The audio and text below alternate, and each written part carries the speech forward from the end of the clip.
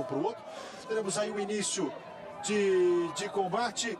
Vai ter início o primeiro round, no total de três rounds, a decisão do Grand Prix. Começando a partir de agora, detalhes vermelhos aí na lua, você vê o cabelo. Detalhes azuis, o Thiago Besorão, que já tenta ali um chute na linha de cintura. Responde ali também o Felipe. Tá no soco do Superman ali. Exatamente. O, o Besourão. O cabelo conseguiu afastar bem com o chute ali na. Um, um puxão ali com a perna, né? O combate começa bastante estudado entre os dois. O cabelo tentando se impor um pouco mais, enquanto o Besouro ainda procura a distância dele. A gente vê que os dois são bem altos para o peso mosca, 1,72 enquanto eles pesam apenas 57 quilos no dia da pesagem. E o Besourão vai para cima. Chute na linha de cintura, levou ali o Besourão, respondeu. Uma boa, uma boa sequência de de cruzados. E para as pernas ali, buscando a queda. O Eduardo Cabelo. Tentou o contra-ataque, caiu por cima ali o Besourão. Na meia guarda. Tenta estabilizar ali, mas já se defende, né? Balança, usa a perna para proteger. Não quer ficar naquela condição ali, não. O cabelo. É, vai lembrar Consegue que os dois. levantar, se saiu bem ali o cabelo. Muito bem, vai lembrar que os dois são faixas marrons de jiu-jitsu. Então a gente sabe que ali tem bastante técnica no chão, né? Aí a disputa é boa também. Trabalhou ali com o jab, o besourão, pisão e o chute lateral aí. O chute baixo né, do, do, do cabelo. Ali o pisão na altura do, abdômen. Responde ali com o swingão. E mais uma vez o chute baixo. Esse é o pisão, ó. Esse chute de frente aí, né? Que vai com a sola do pé no abdômen. Tentativa do chute baixo do besourão. É, exatamente, o Besouro ainda não achou a distância dele, enquanto o Cador já está agitando bastante. O Besouro consegue bloquear bem alguns chutes. Né, a gente vê que o, o cabelo está se portando bem mais solto no octógono até o momento. O Besouro tem envergadura um pouquinho maior, mas ainda não se achou. Vamos ver como que esse combate vai se desenrolar, quase na metade do primeiro round já. E os dois fazem uma luta, pelo menos diferente daquela primeira, né? Que foram mais afobados, né? mais ariscos. Agora estudam um pouquinho mais, estão mais experientes, né, Lucas? Tem uma luta no cartel aí já. Né? Exatamente. O, o Besourão agora acabou levando dois chutões ali no, no estômago. E os dois ainda bem conservados ainda, né? Estão é, guardando um pouco o gás. Cabelo conseguiu agora explodir, dar uma boa queda. Vamos ver como que ele vai trabalhar por cima. Baianou ali para cima do Besourão, protegendo, né? Que a raspagem ainda tentou ir para montagem. E aí é o jiu-jitsu, a faixa marrom falando alto. Subiu, tentou mochilar ali o, mochila, o besourão. Aí se defende, aí esgrimou o braço. O, o cabelo e conseguiu girar. Agora as costas do besourão que vai contra a grade, ó. Mantém a base, faz postura ali. O cabelo, Eduardo Cabelo. Trabalha com, com a joelhada na parte externa da coxa esquerda do besourão. Faz o gancho ali por, por dentro buscando ali, quem sabe, estabilizar a queda. O árbitro pede para que ele tire a mão da grade ali, ó. Não pode colocar, ele pode escorar na grade, né? não pode colocar os dedos ali entre as grades. E aí o árbitro pede para que eles recomecem a luta do. Achei até que ele daria uma, alguma advertência ali pro, pro cabelo. Luta reiniciada, mais de um minutinho para acabar o primeiro, primeiro round. Um chute na linha da cintura ali, um chute alto do Besourão jab e o direto. Entrou no double leg. O Eduardo Cabelo tentando colocar a luta pro chão. Besourão defendendo muito bem as quedas, hein? Tentou, pra guarda ali. Tentou puxar ali pra guilhotina sem sucesso. E aí caiu por cima, caiu na minha guarda e o cabelo. Vai trabalhar, vai incomodar o besourão. Deixar o tempo passar. Faltando 45 segundos pro final do primeiro, do primeiro round. Linda cotovelada, bem conectada pelo, pelo cabelo. Vem trabalhando ali o calcanhar, incomodando ali de cintura do cabelo. Olha lá, Royce Grace. Boa cotovelada. Vem trabalhando o ground and pound aí, o cabelo. E se defendendo como pode ali o visorão. Não pode dar espaço, né? Tem que encurtar essa distância, porque deixar o raio de ação livre ali, o, o, o, o cabelo vai conectar os golpes. Já viu ali duas cotoveladas encaixando ali, né, Lucas? Exatamente, o cabelo agora trabalhando por cima, o besourão se fecha todo ali para não levar os golpes. E fim de round, round bastante equilibrado. E aí, vamos para o segundo round.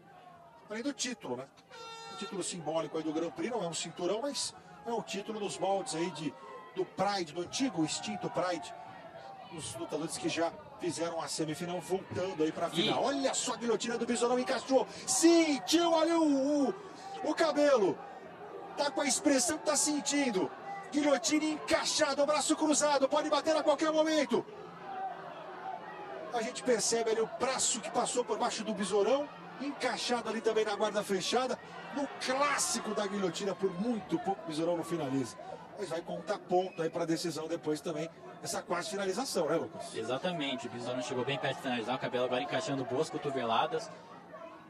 O combate novamente começa muito bem, o Besourão conseguiu defender a queda e acabou puxando para a guilhotina, agora tá por baixo. Vamos ver como que ele vai sair dessa. E toda vez que o, que o- o- o cabelo consegue essa, essa posição dentro da guarda, ele consegue encaixar as cotoveladas. Né? Agora o Besourão protege, ele encurta a distância, agarra o tronco do cabelo justamente para diminuir esse raio de ação. Incomoda ali, usa o braço no rosto do Besourão. Ele tenta. Tenta sair dessa posição incômoda, mas olha só, Tarisco ali, luta franca encaixando os golpes, olha só, tá longe, mas pega, né? E machuca, incomoda. Exatamente, o Besourão tá ali tentando se segurar como pode, mas o golpe continua a entrar. Nossa, cabelo mais tentando uma. umas bombas, né? Mais um míssil, uma cotovelada, encaixando, o Besourão sentiu. O grau da impound ainda. O Eduardo Cabelo curtindo aí, olha, mais uma vez a cotovelada com o braço direito. E aí laçou ali o pescoço para tentar, mais para se defender, né? E parece que caía ali o protetor bucal do Besourão, hein? O árbitro paralisa a luta, uma solicitação ali do Besourão. Sem o protetor, não tá com protetor, né? Não. Tá sem o Agora- protetor? Agora estão procurando ali o protetor bucal para ver onde que foi parar. Voou então o protetor bucal.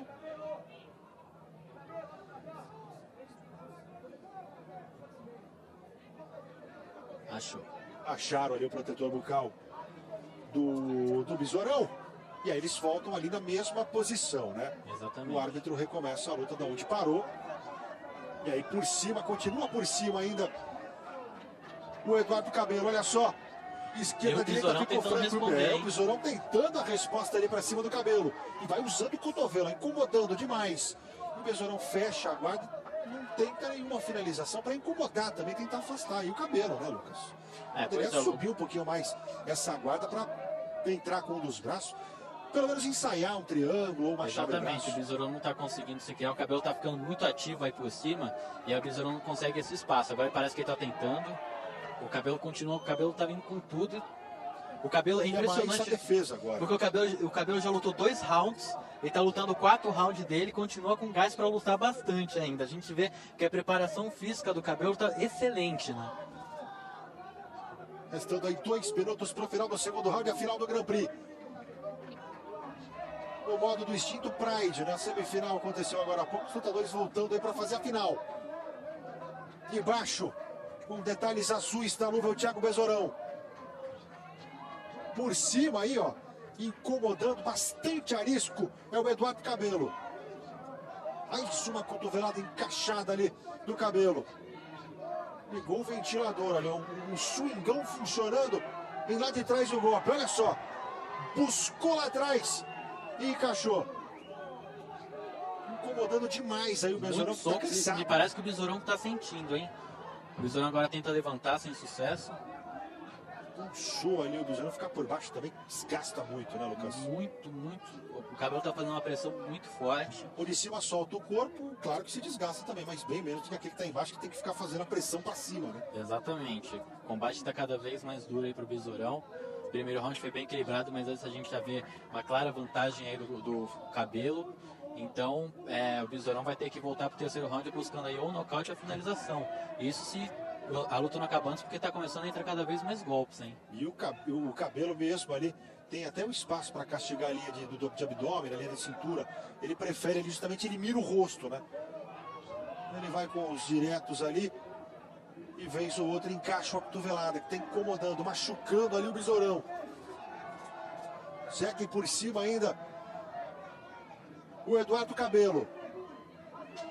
Dentro da guarda, fechadinha ali do besourão, que não tem que ficar só na guarda, né? É, tá tentando agora anular para fazer o juiz levantar, mas falta bem pouquinho pro round acabar. Final. Stler Cabelo está dominando a luta toda. O Rafael e a Gabriela Leal. A expectativa da luta pela Calindra. O Augusto Christer começa o terceiro e último round. Valendo o título do Grand Prix. O Thiago Besorão. Esse que está de costas aí para você. Agora à sua direita, ó. Detalhes azuis das luvas. E o Eduardo Cabelo. Detalhes vermelhos ali nas luvas.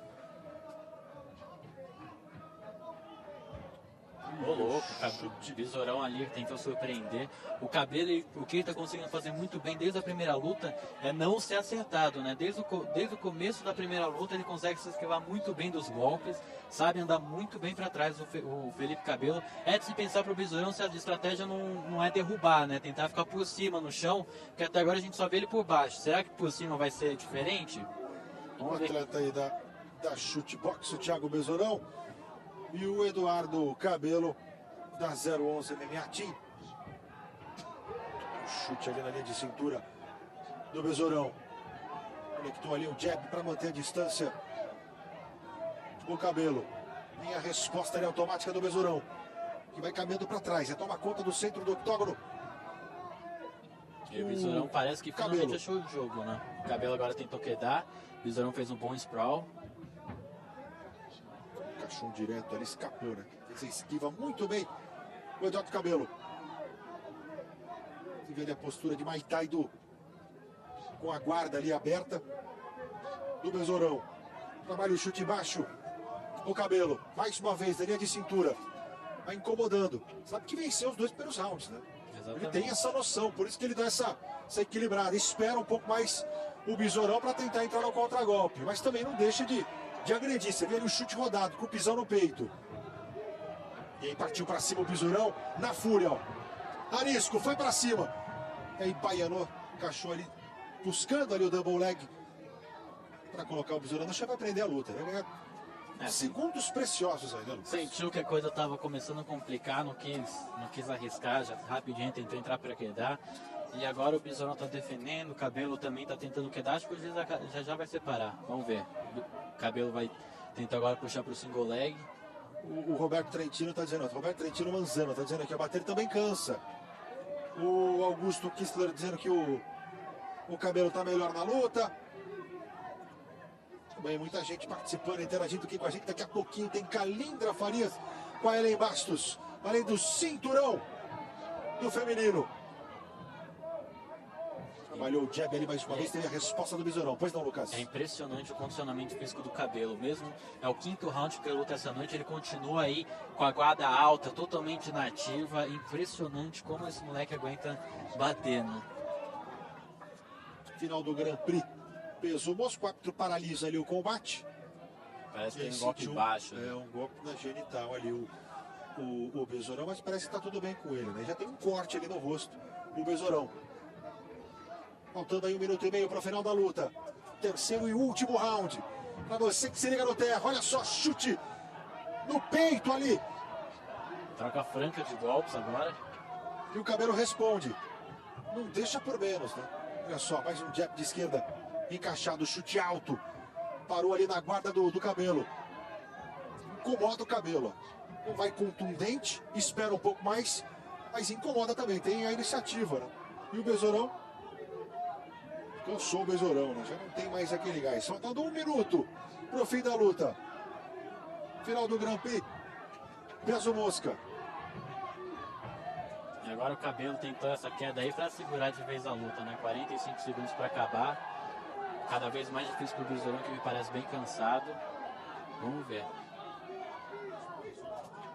Mais uma vez o árbitro interferindo ali, pedindo pro, pro cabelo não usar ali a grade, né? Não colocar o dedo, os dedos ali entre a, entre a grade. Pisão frontal do cabelo. Então, jab. O Besourão, restando aí 17 segundos, 16. Vamos para o final da luta.